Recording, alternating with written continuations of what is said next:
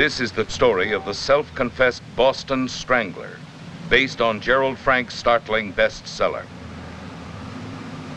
It has been filmed where the actual happenings made shocking headlines around the world. I want you to coordinate the investigations with the Commonwealth. Set up a Strangler Bureau. I'm not even remotely qualified for this kind of thing. You want the stranglings to go on?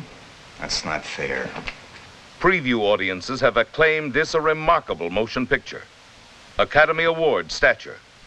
For the indelible quality of this film is that the tension, the suspense, the emotion mount when the camera goes beyond the panic-stricken streets of Boston, beyond the dark corridors of the apartment houses where the strangler silently prowled, beyond the bedrooms of lonely, fearful women, into the forbidden corners of a man's mind and soul.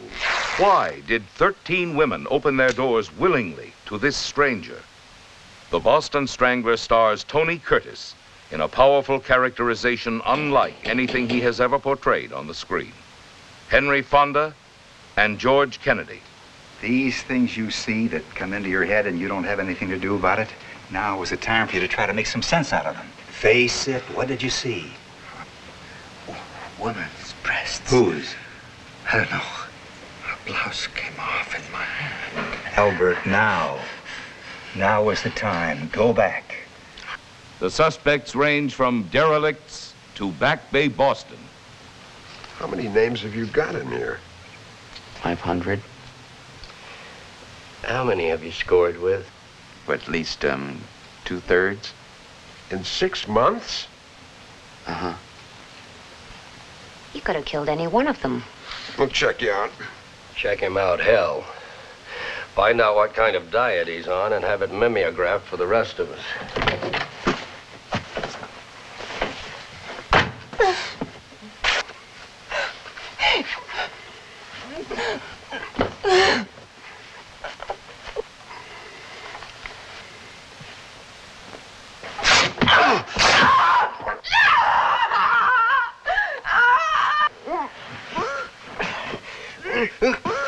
As the suspense builds to an incredible crescendo, you realize that you are involved in one of the most remarkable screen experiences of our time.